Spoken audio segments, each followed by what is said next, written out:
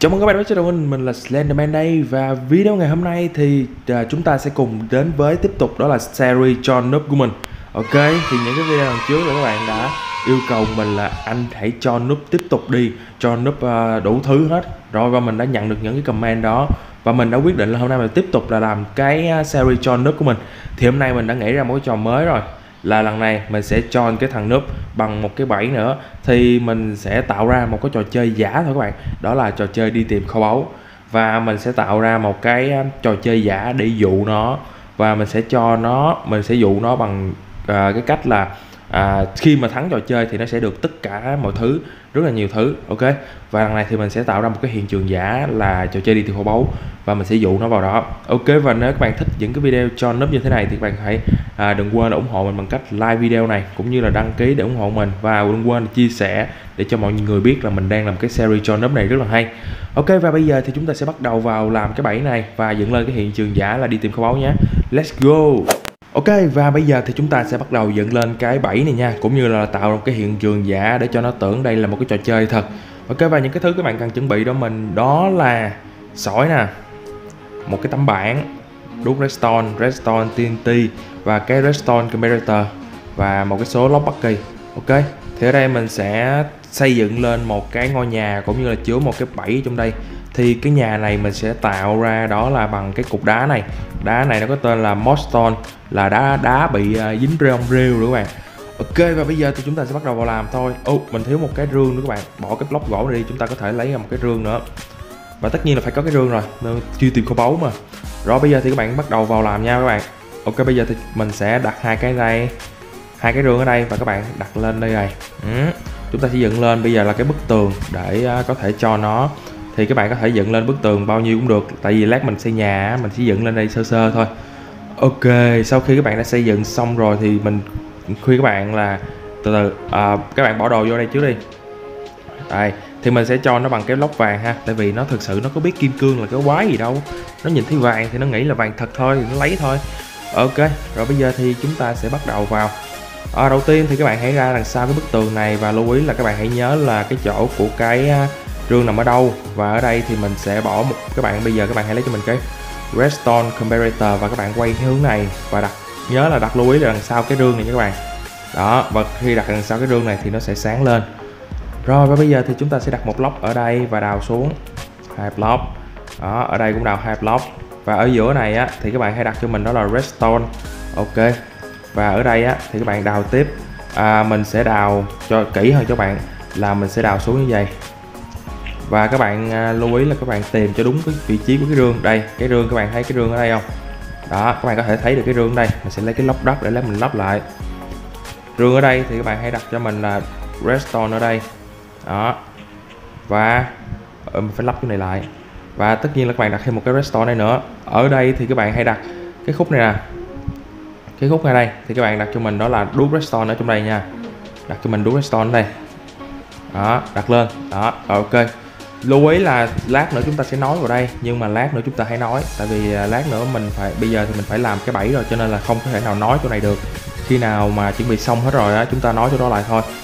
Rồi và đó là cái một cái phần rồi đó và bây giờ thì chúng ta chỉ cần việc là bây giờ là cái cái phần mà để đặt cái bẫy nha các bạn. À, thì phần này là mình sẽ đào có lẽ mình sẽ tua qua nhanh. Thì các bạn đào bao nhiêu tùy các bạn. À, ví dụ như ở đây á, thì mình đào đến đây thôi nè. Rồi bây giờ cái chỉ việc là đào sâu xuống nha các bạn. Đào sâu xuống thôi Đấy, đào sâu xuống bao nhiêu tùy các bạn và mình có lẽ mình sẽ tua nhanh cái đoạn này ha.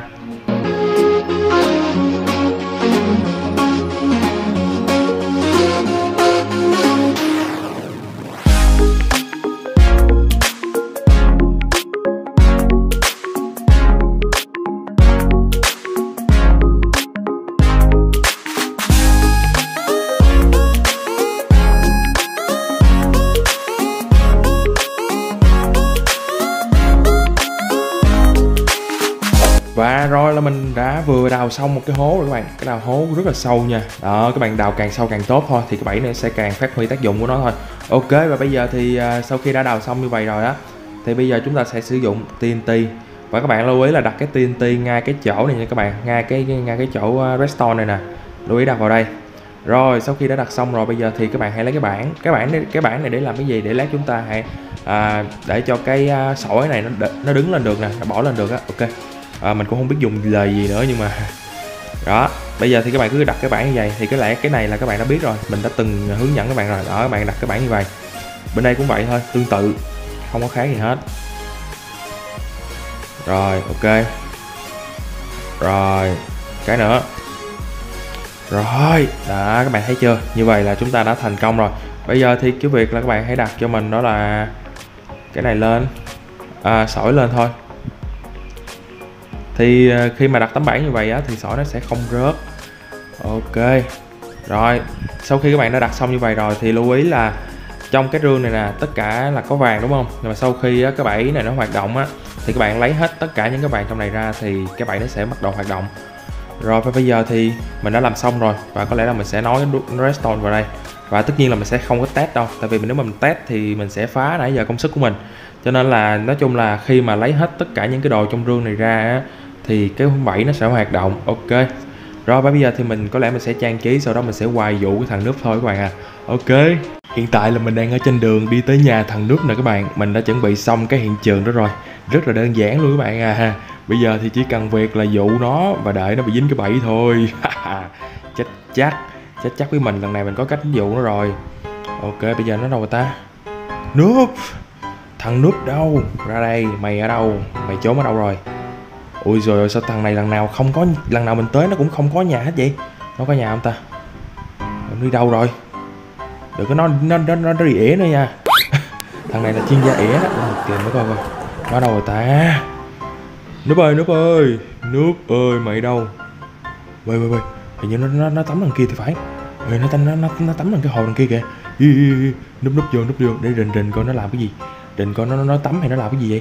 Y, y, y, y để mình đình đình đình đình cái hả? Ô ô ô nó đang làm cái gì vậy ta?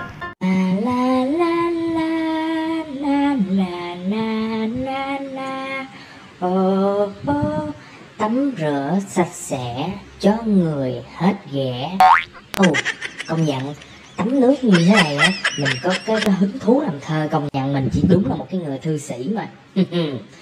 Ừ, ừ, ừ. Ai, dạo này buồn quá từ cái lúc mà bị anh Slan anh hù ma đó giờ á mình đã thua cuộc rồi. Và mình không có được tắm cái nước ờ, ở trong cái bồn tắm của anh nữa. Trời ơi phải ra tắm nước sông nữa nè. Nước này múc từ dưới sông lên nè. Trời ơi chán thiệt. Từ khi mà mình tắm cái nước ở dưới sông lên bây giờ á thì người mình nó còn ghẻ buồn ghê trời ơi kìa. Trời ơi hơi lên. Ơi đít kìa. Ghẻ không. Chán thiệt. Ơi thôi đi về nhà thôi nó nó nó về nhà nó về nhà là vụ đó. Ơi núp núp núp đứng lại đứng lại đứng lại đứng lại. Anh anh Slen nè anh qua anh gặp em nè. Đứng lại đứng lại đứng lại. Ủa anh Slen hả anh qua đây từ lúc nào vậy? Nãy giờ em tắm là cũng không có biết là anh qua luôn á. Anh qua nó kêu em ờ nãy giờ em tắm buồn lắm anh ơi. Dạo này tắm người ghẻ không mà ơi chán thiệt chán lắm luôn á anh. À lúc anh tới là anh thấy mày đang tắm ở ngoài cái hồ kia rồi. Ê mà nói nghe nè hỏi nhỏ nha lần trước á mày nói với anh á là mày nhìn mày lớn vậy thôi chứ mày chưa có lông. Rồi vậy giờ, giờ giờ cho anh hỏi là cái gì? Đen đen đen ở dưới ngay cái giữa cái chân mày vậy? Cho anh hỏi có cái gì đen đen ở dưới giữa chân mày vậy? Trời ơi qua nãy giờ cũng không kêu em nữa. Mà, mà anh nói cái gì mà đen đen ở dưới chân giữa chân em? Đâu để em coi có cái gì mà ở giữa chân em mà đen đen. Ơ ơ chết chết chết quên mặc đồ quên mặc đồ. Anh ơi à, à anh sao nãy giờ anh không nói cho em biết? Hàng gì em đứng nãy giờ mà em thấy mát mát mà em không biết là tại sao mà nó mát như vậy. Ừ thôi em coi chỗ khác để mặc đồ vô một cái. Các, các bạn các bạn thấy không? Nó nó không nó ở chuồng á nó không mặc đồ mà nó tưởng là nó đang nó mặc đồ rồi. Hàng gì nó kêu nó thấy mát mát. Vãi cái thằng này thật ở, ở mà mà nước ở đâu nó tắm vậy ta? Cái hồ đó làm gì đâu ra mà có nước mà nó tắm hay gì à, ờ, để mình hỏi nó coi. Ơi núp ơi núp à, nước ở ra trong cái hồ đó em tắm vậy. Bình thường anh thấy là em tắm xong mà. Mà sao bữa nay là cái cái cái hồ đó tắm hay vậy? Cái hồ đó là em tự đào á. Em đào xong rồi em xuống sông em hút nước rồi em đổ rồi đó. Tại vì sáng nào cũng đi bộ ra sông tắm á nó mệt quá. Cho nên là đào cái hồ gần nhà xong hút nước sông lên tắm. Vậy cho nó khỏe. Sáng khỏi phải đi nhiều. À thì ra là nước đó múc từ dưới sông lên. Vậy là xui cho chú rồi anh uh, nói nói trước là anh xin lỗi chú nha. Tại vì á uh, nói thiệt á là sáng nào á anh cũng ra sông á anh ỉa rồi anh đái ngoài đó hết á. Cho nên là nước từ cái nguồn của anh nó chảy xuống nguồn của em. Cho nên là em tắm á người em ghẻ là phải rồi. Thôi xin lỗi nha. Cái gì? Vậy là nước sông nó dơ là do anh hả? Vậy là sáng nào anh cũng bậy đi bậy lên cái nước sông này rồi em sáng nào em cũng phải tắm. Rồi cuối cùng người em nói ghẻ đích em có ghẻ là tại anh đó à tức thiệt chứ. Tức không có làm gì được anh hết. Thôi bỏ đi. À, hôm nay qua đây có chuyện gì nữa vậy? Sao ngày nào cũng qua kiếm em hết vậy? Có chuyện gì? À, hôm nay anh qua đây á là muốn cho chú là có tiền bạc để xây nhà. Thì hôm nay á là anh qua đây, anh có tạo ra một cái trò chơi có tên là đi tìm kho báu. Và anh đã chuẩn bị kho báu sẵn rồi. Ở trong đó nói trước cho em biết luôn là trong đó vàng rất là nhiều. Cho nên là nếu mà em tìm được cái kho báu đó thì tất cả số vàng đó là của em. Và em có thể à, lấy cái số vàng đó và à, mướn người xây nhà, mua đồ để xây nhà. Ok, thì nếu mà em muốn chơi á thì anh sẽ hướng dẫn cho em chơi. Mà không biết em có chịu chơi hay không à? cái gì? Đi tìm kho báu có vàng hả? Ồ đã vậy. Ơi mà khoan. Mình có nên tin ảnh không ta? Bao nhiêu lần mình tin ảnh rồi mình toàn bị hại không à. Lần này có nên tin không? Ừ, mà bắt buộc chắc mình phải tin thôi tại vì nếu mà mình không tin á, thì mình cứ ở cái căn nhà đó riết và mình phải tắm nước sông suốt đời luôn sao? Rồi người mình ghẻ suốt đời hay sao? Không được không được. Lần này mình tin ảnh luôn. Và sẽ chơi cái trò chơi đi tìm kho báu này và tất nhiên là mình sẽ tìm được về và mình sẽ xây cho mình một cái căn biệt thự cùng với đó một cái hồ bơi sạch sẽ. Ở được rồi. Chơi thì chơi luôn. Nhưng mà giờ chơi thì sao? Không có gì hết sao em chơi. Phải có cái gì đó gợi ý rồi hay gì em mới chơi được chứ. Rồi, vậy là quyết định chơi ha. Thì tất nhiên rồi, chơi á thì à, anh sẽ có gợi ý đồ cho chú, cho chú tìm cho nó dễ.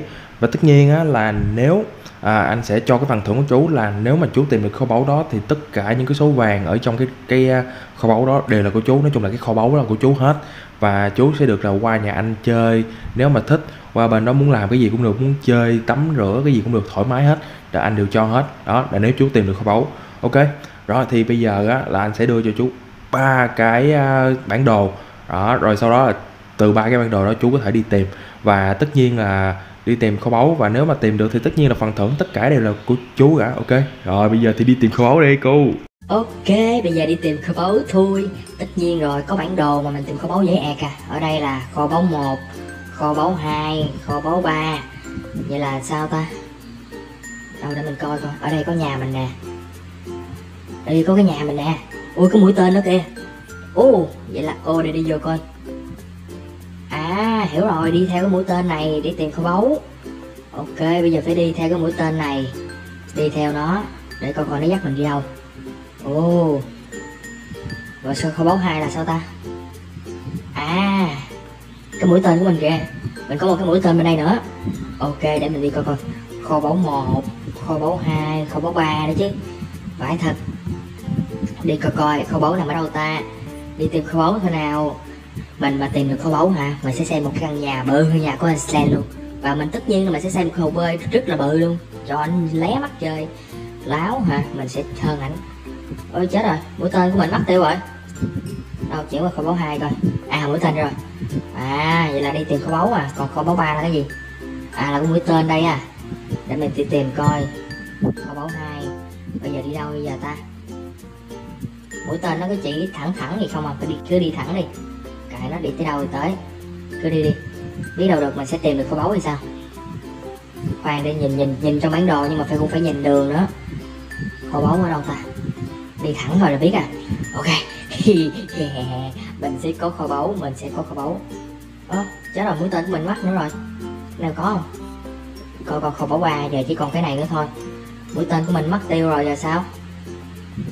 Chết rồi là sao ta? Rồi cứ đi đi. Biết đâu được kho báu nó xuất hiện sao? Chết rồi mũi tên nó mất tiêu rồi. Bây giờ mình phải tìm kho báu ở đâu đây bây giờ? Mở bản đồ lên coi. À bản đồ có rồi bản coi. Có mũi tên rồi. Bây giờ phải đi uh, kho báu nằm ở đâu trời? Ở đây có một cái đám rừng nè. Đi lại cái đám rừng đó coi. Biết đâu, đâu được có kho báu ở đây không coi đám rừng nè à đây rồi mình đúng rồi mình mình đi chéo chéo qua mình sẽ thấy cái đám rừng. Ồ ồ hu hu kho báu rồi ở leo đây coi coi có kho báu không? Ấy da ấy da. Ừ, ừ, ừ. Thôi, đi xuống đi xuống đi xuống đi xuống đi. Khỉ khỉ tào lao nữa chứ. Không có kho báu rồi giờ kho báu ở đâu ta? Uhm. kho báu ở đâu đây? Ê, ê, ê, hình như hình như cái nhà đó kho báu thì phải. Đúng không đúng không đúng không? Mũi tên nó chỉ nè. Kho báu ở cuối đúng rồi ở cuối cái bản đồ phải không ta? Rồi đúng rồi đúng rồi. Kho báu này nó ở cuối cái bản đồ luôn. Oh yeah. Phải không phải không phải không? Ồ đúng rồi kia kho báu kho báu kho báu. Ôi ôi, đúng rồi đúng rồi đúng rồi. Gì đây? Kho báu ở trong rương. À vậy là cái kho báu nó ở trong đây đúng không? Đúng rồi nó ở trong cuối bản đồ này. Wow wow tôi tìm được kho báu rồi bà con ơi. Tôi tìm được kho báu rồi. Kho kho báu này là cái gì? Ôi trời ơi trời ơi. Phê như con tê tê luôn. Ôi. Wow wow. Vàng vàng. Ôi trời ơi lấy lấy lấy.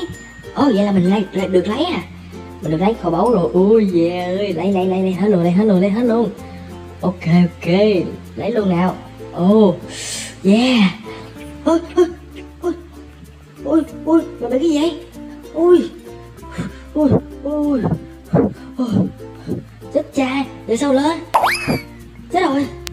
Để sao lên? Ôi rồi rồi xong rồi. Mình lại bị anh lừa nữa rồi. Ok và cảm ơn các bạn đã xem cái video này của mình nha. Và mình đã cho thằng núp rồi. Thì lần này mình cho nó hơi hiền một tí Đó là mình không có đổ cái xô lava xuống cái cái bẫy đó. Thì nếu các bạn nào muốn mà à, bạn mình hoặc là cái thằng núp nào đó Mà chơi trong Minecraft nào các bạn muốn bẫy nó chết luôn á bị sát thương á thì các bạn có thể đổ Solava xuống. Còn hồi nãy là mình không có muốn gây sát thương cho nó tại vì lần này mình cho nó nhẹ thôi à, nói chung là mình sẽ nhốt nó dưới. Và tất nhiên nhốt ở dưới là tất nhiên nó sẽ chết rồi. Nó đâu có lên được đâu mà nó cũng không có gì ăn cả. Rồi và cảm ơn các bạn đã xem. Thì nếu mà cái bẫy đó đó các bạn muốn hại người ta thì các bạn hãy đổ lava ở dưới ở dưới cùng ở dưới đáy luôn á ở dưới đáy cái hố á thì tất nhiên người đó sẽ bị dính lava. Ok và cảm ơn các bạn đã xem video này. Và nếu các bạn thấy hay thì đừng quên để lại một like và đăng ký cho mình nha. Đừng quên chia sẻ nữa. Rồi và hẹn gặp lại các bạn những video sau. Bye bye!